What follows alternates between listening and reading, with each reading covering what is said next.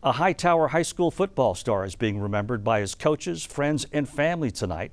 Trey Thomas died suddenly last week after a medical emergency. Those who knew and loved him gathered for a balloon release in his honor. And as Stephanie Whitfield reports, friends say the 17 year old was much more than a gifted athlete.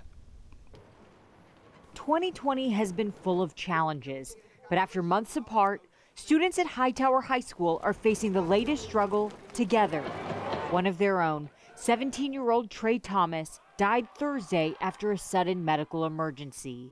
A lot of them are just saying that it's sad and hard for them because they had just saw him at practice two days prior. Jordan Jones is one of the chaplains for the Hightower football team. Two, one. Tonight, friends and family released balloons to celebrate a young man they'll remember as a gifted football player, a track star, and honor roll student.